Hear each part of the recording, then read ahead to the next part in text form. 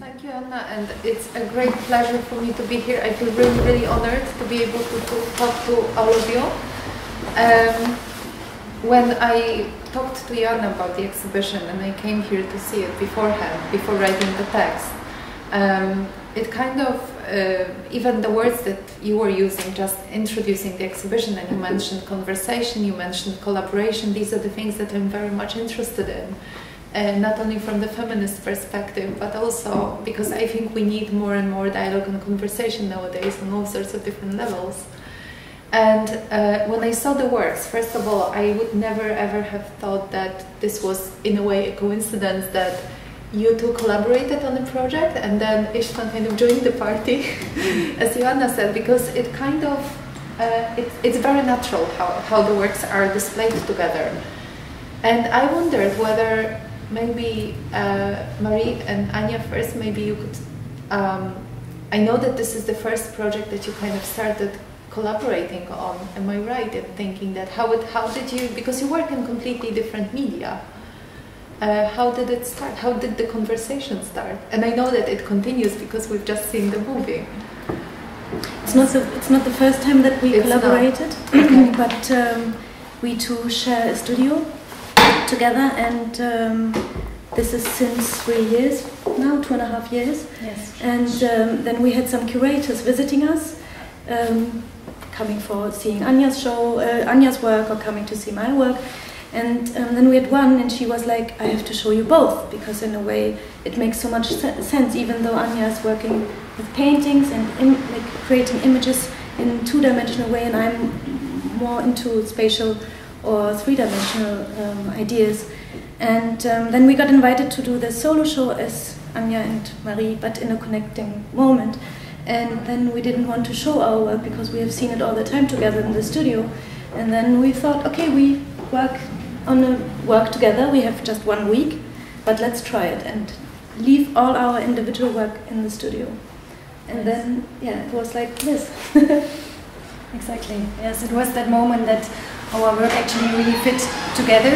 Also, it was not created at the same time with the same sorts, so we meant to have a piece really created together on, and this was uh, uh, a glass table because we wanted to have this meeting zone already then, presenting our collaboration ideas. And yes, this uh, was one of the first things we made also for this exhibition you can find here in L'Étrangère. I mean, the fact that it's glass and it's a table and it's a tabletop, it, it kind of fascinates me and I'd like to go back to this. But then um, István, you, you saw the works when you came to meet Joanna, right? Or uh, you were invited to join. You were invited yes, to join the. I was the, very fortunate. How when you when you saw the works because you very much work with materials. It's very, um, you know, you can see in a way the hand there, but you also work with found materials similarly to Marie, yeah. uh, to to Marie and Anja. So how, how did you feel about it? Did you feel like you were joining the conversation? I, I felt this immediate connection between our work. Do you usually work on your own or do you also collaborate? Uh, I work on my own. Mm -hmm. I prefer it that way, but uh, if I would come across with someone who, -hmm. who I could work with, I, I, I would be very much up for that. But you spent like three very intensive days in the gallery space kind installing of installing the work. So yeah. this was like part of the conversation and actually the effect that we and I know that you kind of wanted you were kind of discussing whether to put the works on the floor or hang them or if you could maybe yeah. talk a little bit about that. Just at the very last, I mean, we were preparing my work to, ex to be exhibited on print. Mm -hmm. But uh, very last minute, the guys suggested me that no way, this doesn't look good. It should yeah. be it should be exhibited on the floor and I really like the idea because I didn't even think about it. Mm -hmm. So I was very happy about it. Yeah. That was also our idea when we saw István's work that it would like really go together when they are like presented on the floor, like with ours too, like having the pure material shown, and that's like you can really feel it opens up and you can have a closer look also like that. Mm -hmm. even if even if we would put István's work very close to ours or put it around or put this on, on his work, it would still um, work together, we Yes. think. That's why we wanted to leave the plinths, leave everything that is more a traditional way of presenting a product rather than presenting energy, you know, and um, that's why we, we put it like this. And we could even have worked it out in a small room like the toilet cabin, I would say. It, Mhm. it, um, this is, of course, a very nice room, and the second one too. But for the two positions we are showing here together, it would definitely make sense also in a kettle, you know, or in your pocket of your jacket. Yeah, and also that they that they can cope so in this without losing energy by themselves as an art piece, but like they are giving energy by neurons, I think, or like we thought. So there's a certain exchange in between the works and materials as well. Mm-hmm. yes. So going back to the idea of the tabletop, because um, when I saw it, and actually Georgia, who was here in the gallery then, uh, she said this is a tabletop, and, and you work with uh, different domestic materials as well. And I know that there's toilet paper and um, some bits of fur. Um, why that kind of materials? It's a good, question. We do not want to answer actually, um, because we do not really know. In the way we feel attracted by the anti-aesthetic of it, but also we we touch it every day. And why I say touch is because that's why we want to work with it. We want to work with materials that have been touched or touched by our eyes every day and are not visible anymore for us. Because when we use toilet paper, for example, or whatever cleaning material, um, it is an extension of our everyday life, and that's why we do not give any attention to it. But as a ma- ma- mass product, the toilet paper is already um, produced to be dead, to be or given away, and that's why we wanted to work with it to really have this touching moment. Exactly. And it has these two sides. It has this clean side and this used side at the same time. And also because glass is so pure, so clean, so perfect in a way, we have all these anti-materials taken to make to really work out these contrasts. And also these materials like toilet paper and all this also domestic cleaning stuff can be transformed in a way we want them to be transformed. And this is maybe also a way to underline also the fluid, fluidity of glass somehow too because glass is a really strange material in a way. It's not this uh, stiff and stuck as it seems to be.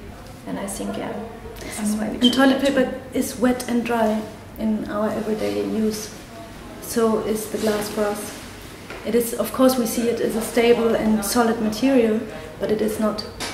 It's a, liquid in the end, and all the molecules are in, mo- in, in uh, action the, the whole time. Yes. I mean, it fascinates me that you use the word domesticity, and this is something because obviously tabletop is, is table is where we usually have that kind of conversations at home. This is a place where you come into contact with others, you meet other people, uh, but also this is a very you know a place where you, you touch things, and your works and similarly István's works they are very tactile, very Mhm. haptic, very material um, and very intimate, I think. Yes. Very, you know, in your case, there is this transparency, fluidity of the different materials.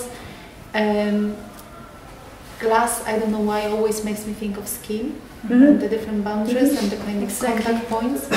And similarly, in your case, uh, you, you work very close with the material. And I know that um, the, the works that are displayed here are very much kind of built from different found objects, but you also manipulate the material in a. in I a used very- find objects. Yeah. Yes, what kind of objects have you have you used for these works? Uh, glass, brick, screws, Mhm. and uh, in the case of this particular grey um, cylindrical shape, I used uh, iron oxide from the Tisza River, Mhm. which is in Hungary. Mhm. Uh, one of my friends gave it to me as a present, and uh, this this uh, piece is titled Impact.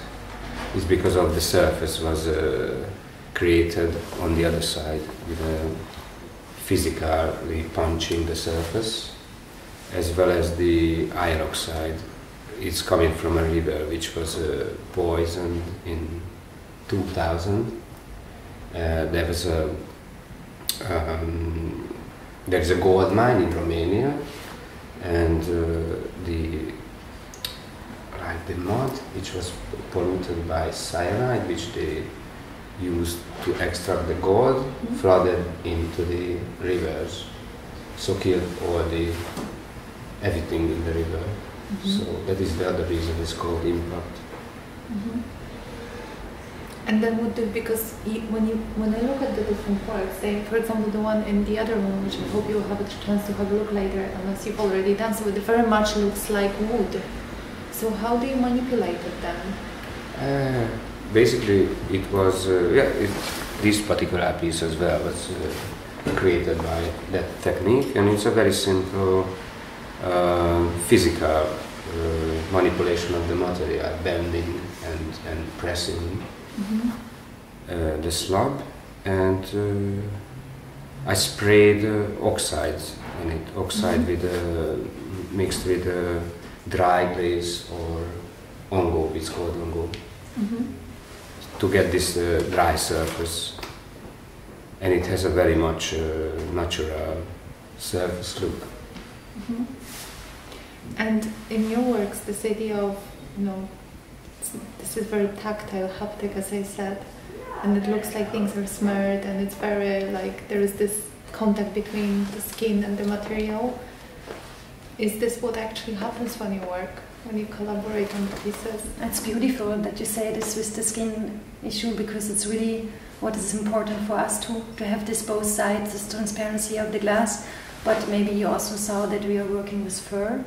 Yes. I think that's now is not a piece here anymore because the experiment is not visible. But maybe you have the chance to see our portraits. Yeah, yeah. And this is also our sort uh, of like the first representing this inside and outside of the skin, this touch, the position of being touched and cannot be touched, but like also that, that it can transmit something and the glass can transmit something by your view, like this tactile uh, um, watching. You can have like when you watch our glass, you can almost feel it, like with your eyes, what's going on on it.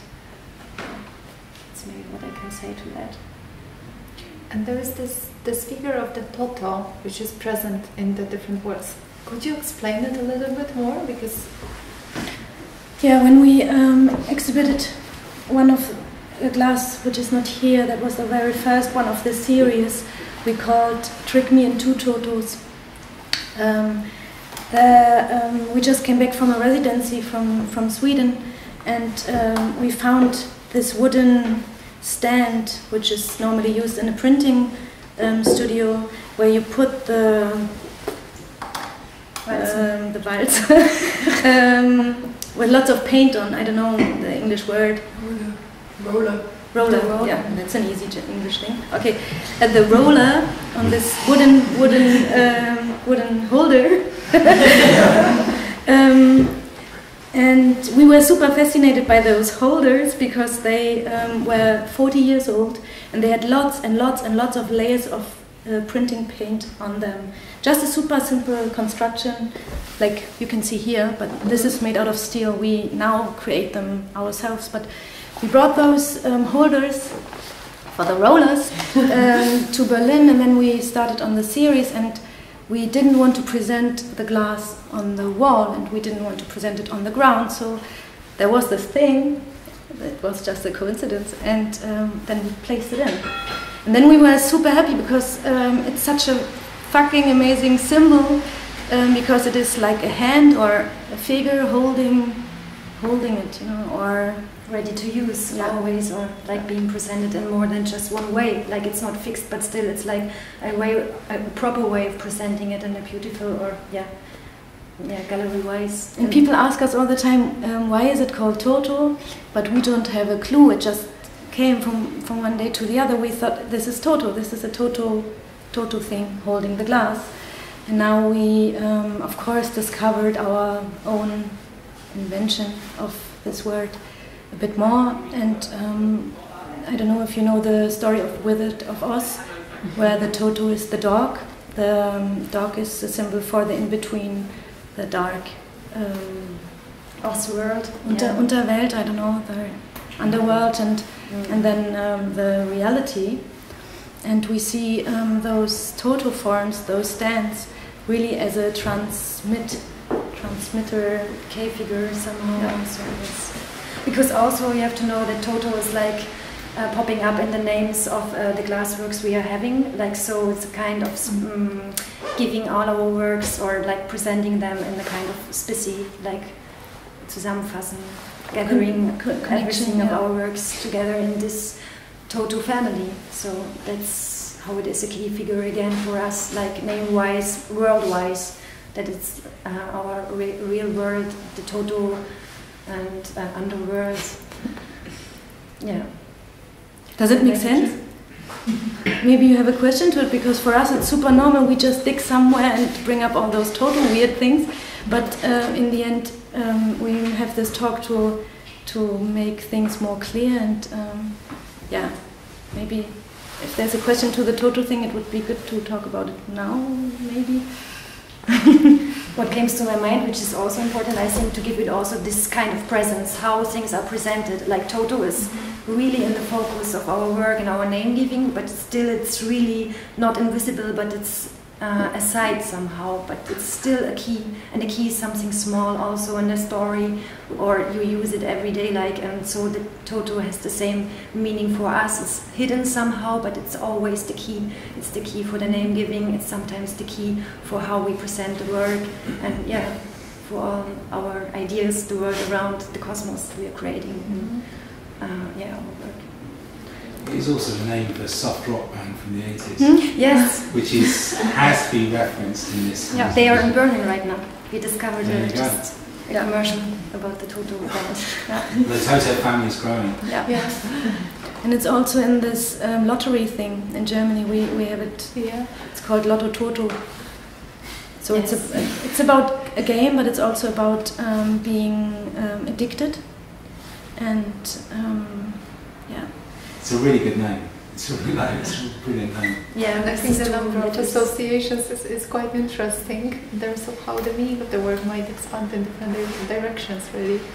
But I have to ask because you've mentioned Wizard of Oz, and that's one of my research interests. But a bigger research interest is Alice in Wonderland. And just before the talk today, you mentioned that you actually had a file with Alice's uh, pictures. Pictures, yes. Can you just tell me a little bit more about it? Because now that's all I can literally focus on. that there is this idea of Alice present there, and maybe the looking glass that I'm quite interested in.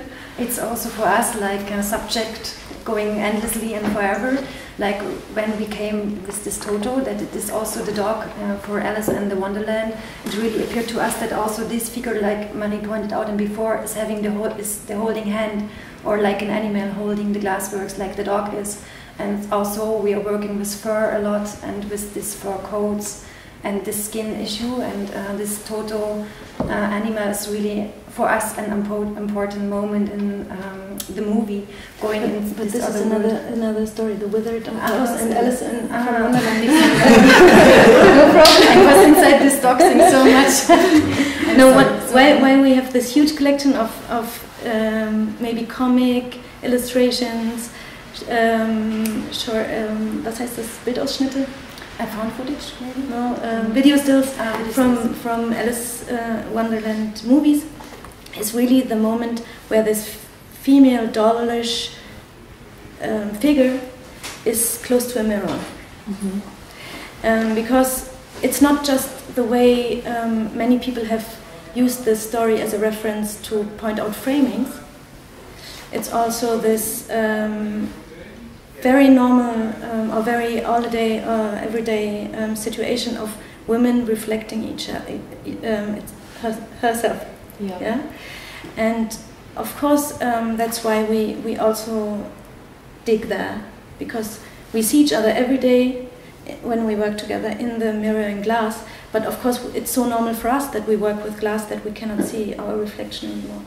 And there, um, in the um, surrealistic um, poetry, it is um, lots about this reflection, and that's why this Alice from in the Wonderland is, um, how I say, is a further step. It's it's a younger talk.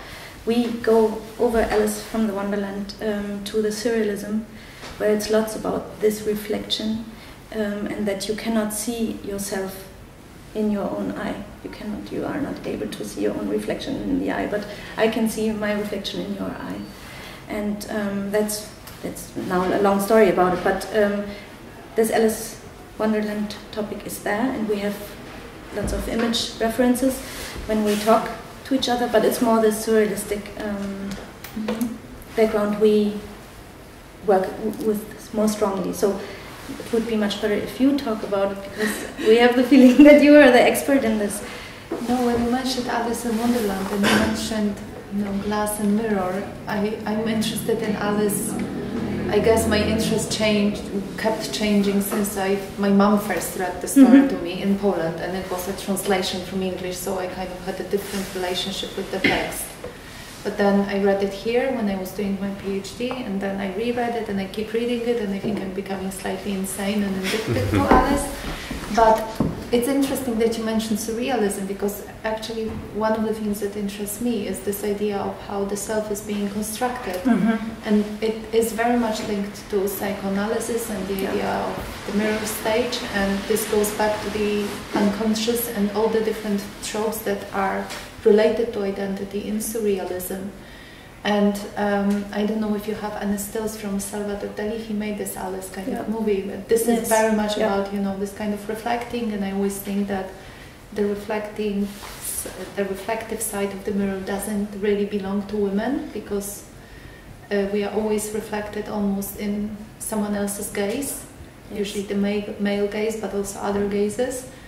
Uh, and yet Alice goes through the mirror, and to me she is this little fearless explorer, very curious, trying things, growing, you know, extending her body, shrinking, playing with things, touching things. It's very, very much what you've done with the tabletops and adding different domestic elements because she escapes domesticity. She manipulates different materials, and in this way, she establishes a completely different uh, identity that, that is actually based on the contact with the different creatures Mhm. she has and she encounters in Wonderland or on the other side of the looking glass. I mean, um, there are probably no references to Alice in István's works, but Not as you far I know. do work with glass. So uh, why why do you choose to work with glass? Because glass is a very interesting material. As you say, it's very malleable. It's very fluid. It's very tactile. It's very, to me, skin-like. Yeah. And also what you said with this unconsciousness, we were just talking about this today, like all this Toto world we are taking our ideas of is still unknown to us. It's like our both con- unconsciousness and like because we are two having our mirrors inside ourselves, we can take out these ideas and put them on the glassworks. It's really weird, and that's why we were saying like it's crazy. It's uh, happening with us, like somehow, like we are not inventing, but we are like creating something we can see because we can see it together. And I don't know if it makes sense somehow. It does because it's it's through this exchange and collaboration. And to quote Alice, you're curiouser and curiouser, so you keep exploring and going and kind of trying things. But that, Um, there is a connection, in, in fact, because this is what I'm doing in my work. Even though it's not necessarily connected to Alice in Mhm. Wonderland, but it's very much similar in what sense? in terms of uh, discovering the material, Yeah. discovering this world. so in a way, you you when when you start working on on the piece, you don't have like a preconception. You just No, I mean away. I have a vague idea, but that's very vague. Mhm. and the process during the process through the process the piece evolves uh, leads uh, to the final final outcome Which of the works presented here in the gallery was most unexpected in a way, in terms of you started with an idea and then, you know, things. the one on the left hand side for example and, and the The one on the. the, the yeah. window yes because that was a complete accident Mhm. uh, three like a kiln element and two other pieces melted together with uh, brick and yeah that was not accepted at all expected and then from from here I, I, I started to use this technique deliberately to Mhm. create uh, well more controlled pieces But this was the first one that when which kind one of of the discovered. first, yes, yes. Is this something you still work with? I mean, in terms of the Uh, technique? I would like to if I would have a studio, but uh, I'm, I'm afraid I, I still have to wait. Well, I think now you're in this kind of transitory period, Yeah. aren't you? Yeah. Um, now, I mean, we could probably go back to Alice, but I think that would be unfair to everyone in the room. No, but we could, we could for one thing because the work you see here is for us quite old because it's some months ago we have been working together. And, um, as you say, with Alice, she managed to go through the mirrors. She went, managed to go through the glass. She managed managed to open the openings, you know, the Yeah. holes or whatever, and continued. And we have this made this experience here too that we added something on the surface of the glass, and we, of course, we liked it because it was this is a very joyful and playful co- cooperation. Um, but we figured out something is kind of missing for us as artists in the research. That's why we now started to work actually with a glass manufactory, and we now work with glass blowers who blow the glass for us and then have it flat again. Because we really wanted to go inside the material, you know. It- Mhm. it- as, as you say, it's for you, it's a liquid material, as it is for us. And when we entered the, the manufactory, in Bavaria the first time we were completely amazed by the to see the material completely like a syrup or yeah something to drink or honey or there we were we finally reached you know this this first wonderland in a way and you know what I mean that's why. I know. I mean, to me, it's magic. I mean, um, my mother, she she graduated with a fine art diploma and also glass. so as a child, I remember, you know, watching glass being blown and this kind of liquid substance, very malleable. And to me, glass was always about transformation, yeah used in one way or another. And that's why I guess probably when I saw the works, I thought. This is very, very intimate, but also very magical in a way. As you say, you were taken to Wonderland. Yeah, and also as you were talking about Alice as a girl going in this wonderland, which is kind of uncommon in these times, that the girl is like the hero of the story.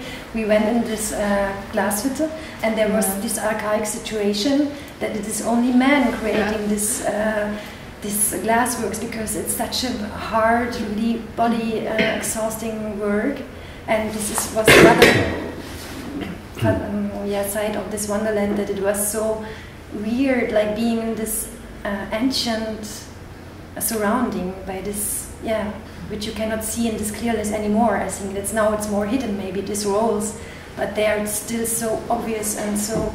It was so confrontative for us two girls entering there and having this lots of yeah, sides uh, at the same time.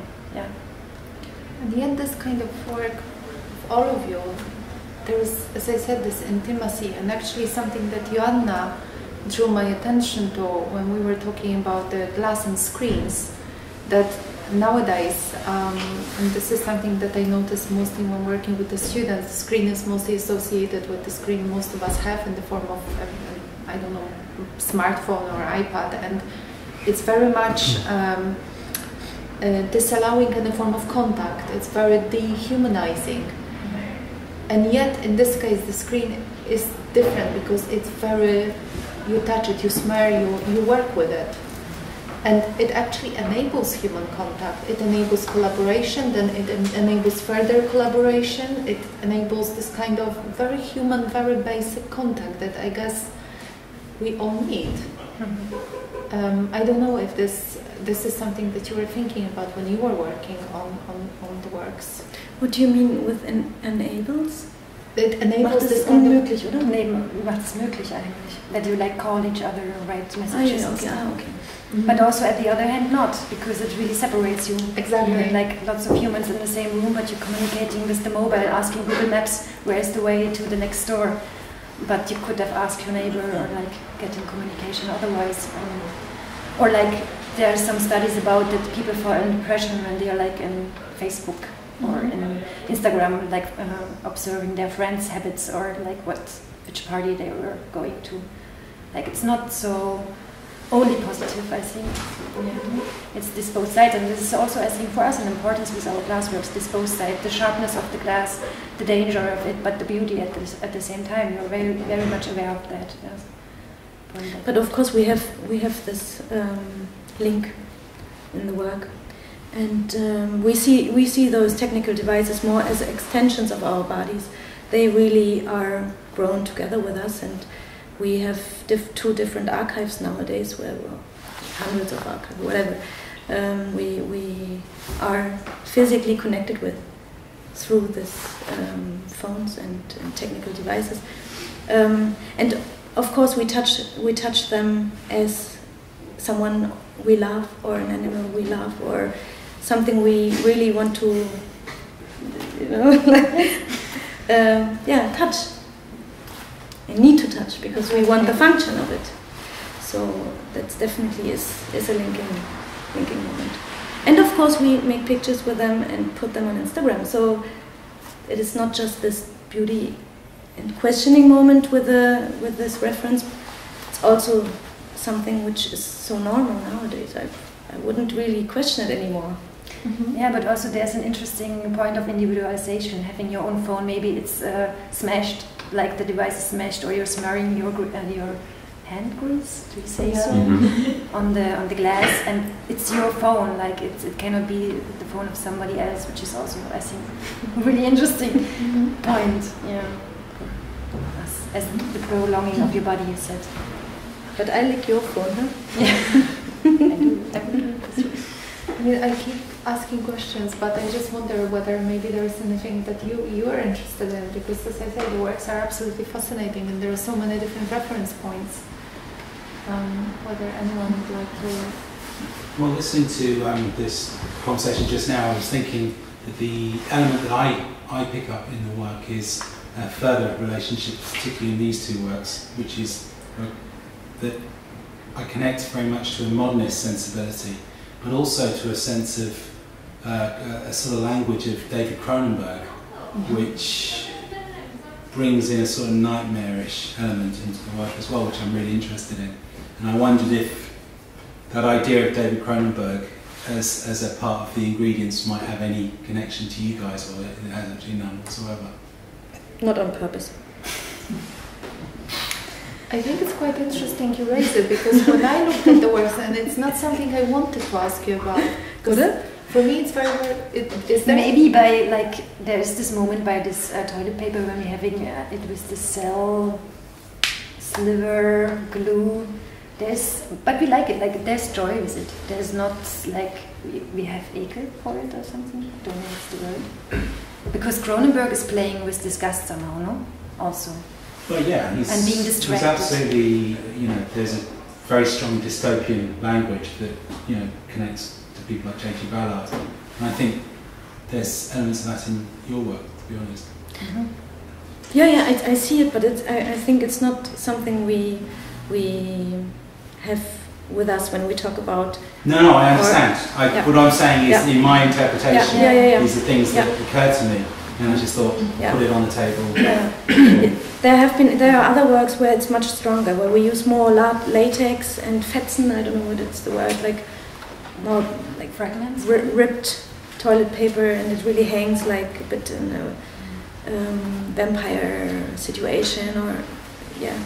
But here with this we haven't really spoken about it. Yeah, we didn't push it on purpose to yeah. have this. But I think there is a real connection with mm. István's work in that yeah. if, if you're going to go into that dystopic sensibility, I think there's a real sense of connection, you know, thinking about something like the Atrocity exhibition by J.G. Ballard, where mm -hmm. these sort of internal organs, things that are really sort of internal and then suddenly coming externalized, you know, these are sort of connections that seem really clear to me. Hmm, can I, can I come in here? It's very interesting that you mentioned internal organs because I actually wanted to ask István, you have experience working in hospital. I do, yes. so it must have affected my work as well. And I wonder whether there is any subconscious influence. I suppose I even accidentally nicked ideas from him because, you know, you see Henry Moore in a lot of places. or as you said, I, I used to work in a hospital, which must have affected the way I how I see things. So it must have come into my work as well. I think this is interesting because when I look at it, I also thought about fluids, but I started thinking about the fact that you know the this is very you're playing with the idea of domesticity, skin touch, contact. To me, this is very feminine, but very powerful in terms of femininity, and you show those fluids. Your sculptures are very bodily, like as Jana is saying. So actually, it makes me think more of Julia Kristeva's concept of the abject and something that we, you know, we might maybe fear. We we are not sure what to do about it, which is again close to Freud, and then are those ideas of the unconscious, uncanny. There is something very, you know, it's smelled. You don't really know what it is. Is it rubber? Is it latex? What is it? Is it bodily fluid? Is it bodily kind of shape? Is it body that's like Alice's body? Kind of something is Mm. happening with this body, and I think uh, it's quite interesting that you know the different connotations that you can read into but is this actually something you maybe considered those bodily fluids and kind of like quite female perspective on the body All this kind of bodily shapes I think it must be an accident in my case. I mean, not accident, but that's the uh, unconscious one obviously I have. I uh, think. I have def- definitely, but not uh, consciously. Yes, not consciously. Mhm. Here with this work particular, um, it has a hundred percent to do with it because Anja and I we chewed the toilet paper.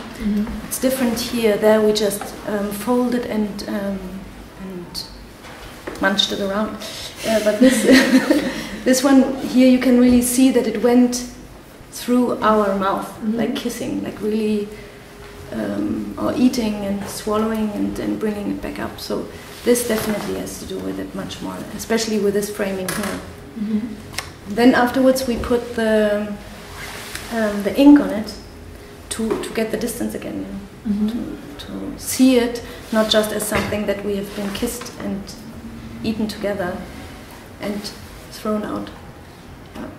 and also together like with the body and the glass together it's also for us a strong topic we had this performance done in brussels before like in Ma- may june or june and there the glasses was presented by three performers moving around with the glass they were not as big as them but like one meter in uh, durchmesser in yes yeah okay. And uh, also that's why we had this video done like parts of our body are visible and like moving around the glass the hands caressing the glass uh, on the top and under it and meeting each other and like the context on the meetings so the collaboration is like for us really strong. Also to be shown the public and in a public moment not only hidden or like not hidden but not only frozen in the process on the glass but also together with bodies moving with them moving around them. And it's definitely one thing we want to go more intense also in the future and work with that. That's also because of the toto again uh, it's a representative of not having the glass stiff and fixed. It's always uh, fluid and can be moved and taken But I would say to answer this question from another side, um, why we came up with, with a video, which would be nice to maybe show later on. Um, it's not long, so it will be not too stressful for you. But we show we show in the video we show bathrooms, and uh, weird bathroom like or not, yeah, special bathrooms. Let's say it like this, where there are, where there's lots of fur on the ground or on some framing situations. And in the bathroom, you get naked, or you, you, you take off your clothes, and you have lots of body fluids. However, and drops of your pee go on the ground, and in this specific case, it goes on the carpet or in the fur, and it really makes a new um, biotope situation in a micro. You know what I mean? Right. yeah So that's why um, we see those glasses, of course, very much linked to body fluids, even though we just used here our own liquid, uh, our own sliver, and not for the rest. But um, we see them really in those wet, dry yeah toilet situations, maybe bathroom situations, um, where the body fluid is a big topic and where it's um, it's the most intimate room in the flat. I kind of realised that the tabletops aren't really broken. They're sort of kept whole, and everything seemed like an adornment or like an adding additional sort of care and something to do with sort of the tissue paper, like trying to soften the edges somehow there, and sort of the glues that are stuck in. It's sort of um, just as much about cushioning something as as sticking it on. And then I just thought the, the piece at the back was quite strange because you seem to have arranged these pieces almost schematically, like an archive, like that, like you were sort of. An archive is like protecting, protecting certain things. So I was just wondering if there's this element of care. Yes, this was when uh, Marie was writing also. Exactly, it's exactly this. It's exactly, yeah. It's, it's wonderful, yeah. it's just we were working with the curator together. She just mentioned it like you did, and I think we think it's really beautiful. I thought about a wound as well, you know, when you put spit on it. Mhm. Try to do Or you lick your wound so they heal Yeah. more easy. Exactly. Yeah. But all- all of this, again, you know, there is this bodily experience that you kind of mobilize in a different way. And again, I keep thinking about phenomenology and Merleau-Ponty and skin as a boundary that you really transgress. And actually, where this becomes a lived experience, in your case as well, uh, is István, I think, where, you know, it's a lived bodily experience. It's very intimate, very, you know, there is this element of touch, care, those fluids and even when you talk about you know the bathrooms uh, and I really hope we can watch the movie this is where you have this ritual of cleansing the body Mm-hmm. and also all the impurities are left this is where you start with the day and end the day and yet your bathrooms look like very domestic livable spaces Yes, this was really important habitable for us. spaces Yeah. yeah. I've got a question about um, how they function in space, in the space of the real world. With István's, it's quite clear the, the bodily presence, their existence in the room, the fact there's no separation between us and them. So that seems like they, they, they have a physical, you, we respond to them in a kind of a physical way, which is quite clear cut. With yours, there's this sort of this strange tension for me, certainly between the space of painting an image and the space of it being, you know, yes, it can jab into your foot, it's, it's lying down like a sculpture, so it's, it's real, it's, it's about the materials. And, but it also, again, for me, sort of slips between image and reality, and like a pond or something, this one. And then this is, because it's set up like, like obviously you have your, your Toto thing, which is that sort of separation between a formal presentation of an artwork, but it's not because it's, it's, it's quite hardcore in terms of it's very thick steel, it's very welded, it's very manufactured, and but also handmade. You can see the, the, the sanding marks and everything. But yeah, this is for me like a kind of a landscape, a horizon or something that sort of drifts away into that. So can you talk a bit about whether you want to transport us to, to the, the realm of you know, depiction or, you know, obviously it's abstract, but we can sort of move into, drift into that territory or with this one I start to see, you know, pond landscape, shorelines. So what's happening with that? Or is that That's a very interesting question. That's something I um, I would say I experienced the first time collaborating with Anja Yeah. because I see myself more working as a as a sculptor, more working with installations.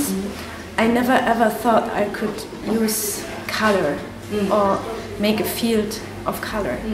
I was like, uh, this is not something Because I you're could using sort of Exactly, exactly. And Anja, she's a painter, so she talks about it all the fucking time. You know? Mm-mm. So Which is that's- someone who wants to- why I want to find out yeah, Yes, so we talk about that very actively. Mm. and fight a lot.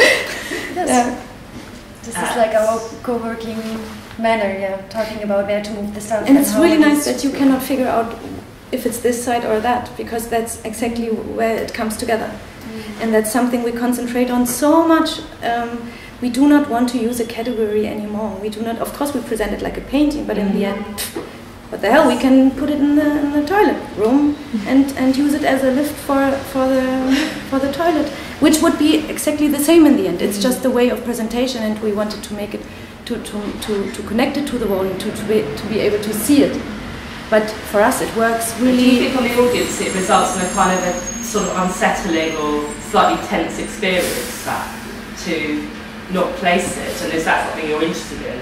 Because I think because people get this idea of dystopia or you know detritus and abject and secretions mm. are things that we quite often try and hide away, which you're kind of bringing out and celebrating in a sense. So But I think in this way glass is really thankful because it's flat as it could be a canvas, Mm. but in the same way it's not because it has this two sides, like obviously because it's translucent. So we're having a, pla- uh, a plastic, no, a, sculpt- a sculpture uh, at the same time as we are having a canvas, which makes it so logic in the end can, that it can be presented like that, like with a painting in between a sculpture, or like only a painting, like hanging on hooks, or maybe like a tabletop, like a sculpture.